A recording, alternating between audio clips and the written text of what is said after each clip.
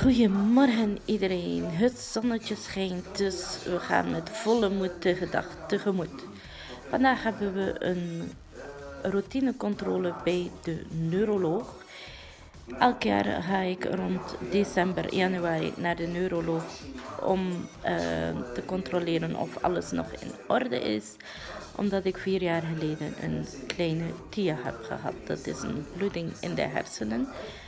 Um, zelf voel ik mij ook steeds beter als ik dit onderzoek ga gaan doen. Dus dat ik elk jaar opnieuw naar deze dokter ga.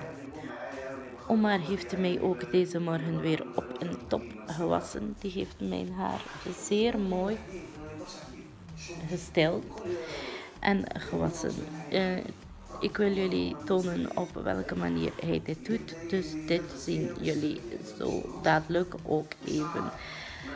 Mm. Dat was het momenteel. En we zien jullie straks in ons avontuur. Veel kijkplezier en we nemen jullie zeker mee naar de dokter. Tot zo! Doei!